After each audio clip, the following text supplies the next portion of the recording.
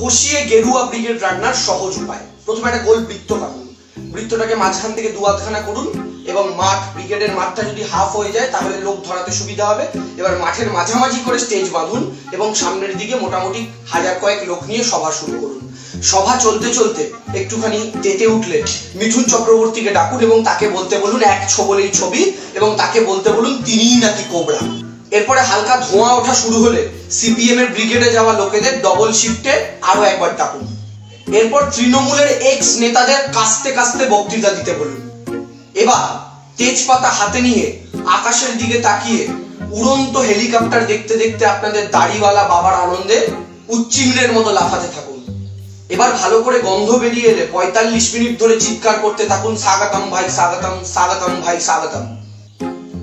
এবার brigade parade ground ভালো মতো বসে এলে দাড়িওয়ালা বাবাকে বক্তৃতা দেওয়ার জন্য ডাকুন। হ্যাঁ এটা খেয়াল রাখবেন, দাড়ির চুল যেন রান্নায় না পড়ে যায়, তাহলে কিন্তু খুব ঘেন্না লাগবে।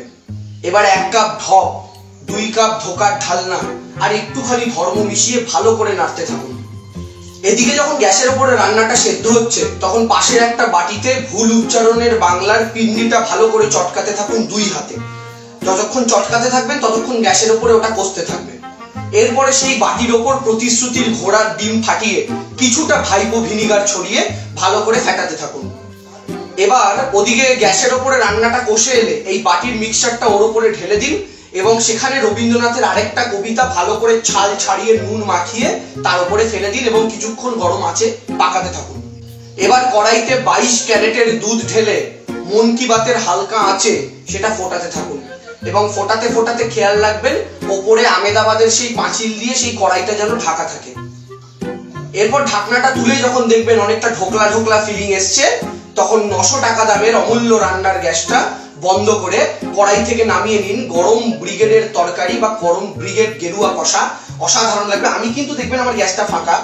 আমি কিন্তু এই গ্যাসে রান্না বান্না করিনি, কারণ এটা উল্টো পাল্টা ফালতু রান্না করলে মা আমাকে বাড়ি থেকে বের করে দেবে। কিন্তু আপনারা এই রান্না করতেই পারেন এবং এই রান্না করে ভালো করে প্লেটের ওপর সাজিয়ে পদ্ম ফুলের পাপড়ি দিয়ে সার্ভ করুন। গরম গরম গেরুয়া ব্রিগেড কষা।